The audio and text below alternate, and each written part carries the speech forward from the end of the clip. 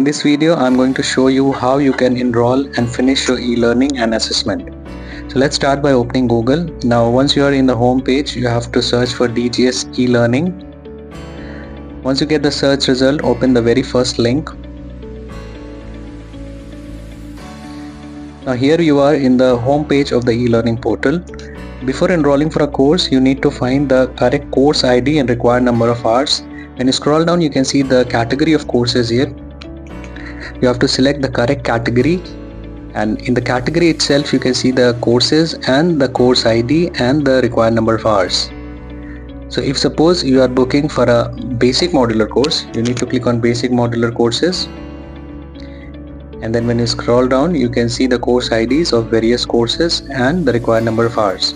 Similarly in the Hoon Maritime app or website, uh, when you select for a course, uh, when you proceed forward in the booking section, when you scroll down you can see the course ID clearly mentioned. Similarly in the app also you can find the course ID while booking the course. So once you have the correct course ID guys, you have to go back to the DGS uh, e-learning portal and click on enroll now. So you will be redirected to the enrollment form page. Here you have to enter your INDoS number and date of birth and the course name. Here in the course name section guys, when you open the course name section, here you have to correctly find your course ID. Course ID I have already shown you how you have to find your course ID and the required number hours. Uh, it is advised to do the e-learning uh, guys from a laptop uh, but uh, some of the mobile devices are supporting this uh, e-learning portal so once you have selected your course you have to enter the captcha and click on verify. Once you click on verify you have to verify your details.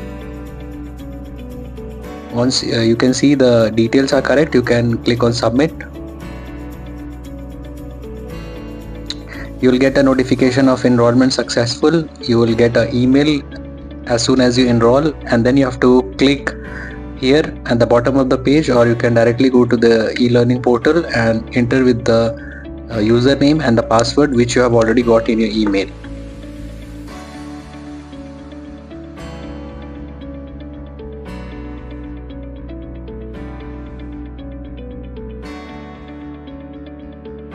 so once you click on sign in you have to capture an image for verification so the camera will open you have to capture your photo and click on verify photo.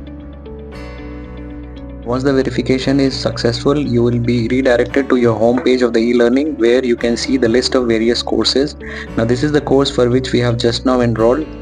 Once you click on the course, you can see and start your e-learning. Right on the top, uh, you can see the home button which will help you to go back to the list of courses you can see the progress bar for the completion of the e-learning. Once it is 100%, you may access the assessment by clicking on it and you can click attend. In some cases, the progress bar may show 100% if you have access all the topics but you may not be able to attend the assessment if you have not completed the required number of hours. Uh, you may get a notification like this when you click on the assessment. So make sure you have completed the required number of hours as well as all the topics has been covered in order to attend the assessment. You can give the assessment number of times. Uh, so thank you everyone. I hope this video was helpful in providing a clear understanding of the entire process.